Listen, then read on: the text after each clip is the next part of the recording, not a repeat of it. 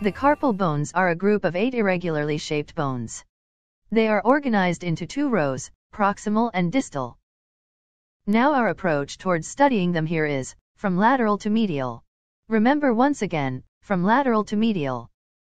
First let's look at a popular mnemonic to memorize these eight bones, and these are again laterally to medially. The mnemonic is, she looks too pretty for the proximal row, try to catch her for the distal one. She looks too pretty, try to catch her.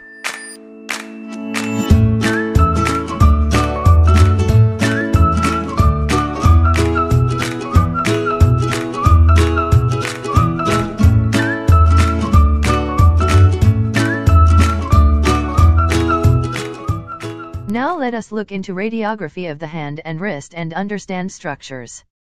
These are the radius and ulna. This projection of distal radius on the lateral surface is its styloid process. And this one here, is the ulnar styloid process. This lateral and round articular eminence is the head of ulna.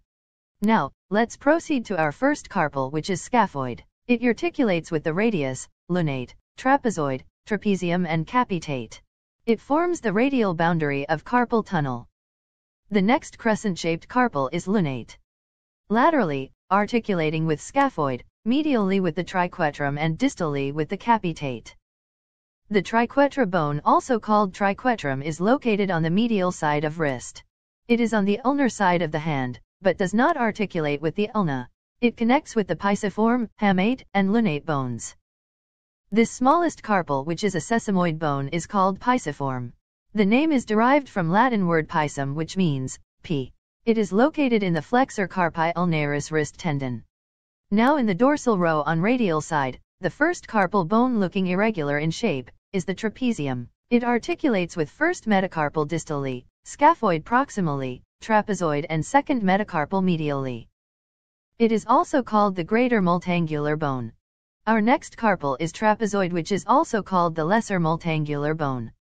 It is a four-sided bone and it articulates with four bones, scaphoid proximally, second metacarpal distally, trapezium bone laterally, and capitate medially. The largest carpal, capitate bone, is found in the center of the carpal bone region. It articulates with the third metacarpal bone, the middle finger, and forms the third carpometacarpal joint. The hamate is an irregular carpal present abuts the metacarpals of the little finger and ring finger. It is readily distinguishable by its wedge shape and a hook-like process projecting from its palmar surface. It is called as hook of hamate.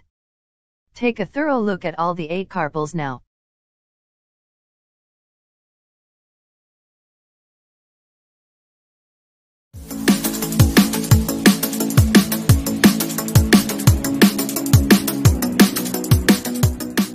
The most commonly fractured carpal bone is the scaphoid. Scaphoid fracture occurs due to a fall on an outstretched hand with complete weight falling on the palm.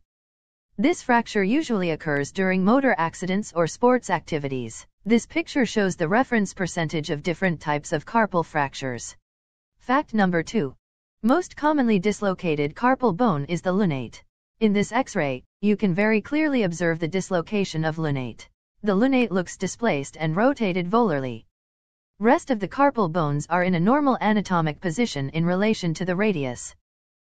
Now let's come to the most important point of avascular necrosis. It can occur in case of a scaphoid fracture. Always remember it happens in the proximal scaphoid. It is very important for your exams. This is your scaphoid bone and blood vessels enter into scaphoid from the distal end so blood is more plentiful where it enters the bone that is at the distal end in case of scaphoid bone. So scaphoid is designed in such a way that already the distal part has a good blood supply. On the top of that if there's a fracture, blood supply is interrupted towards proximal scaphoid. Without appropriate nourishment, proximal scaphoid begins to die which is called as AVN or avascular necrosis.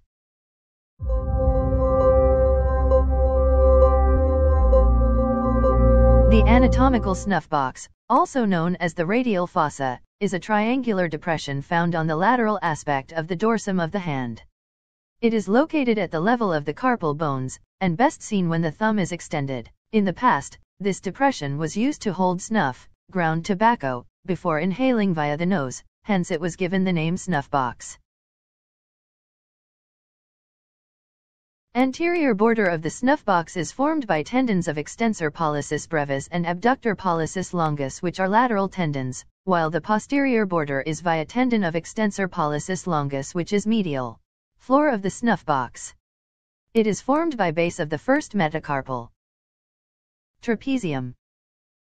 Scaphoid. And the styloid process of radial bone.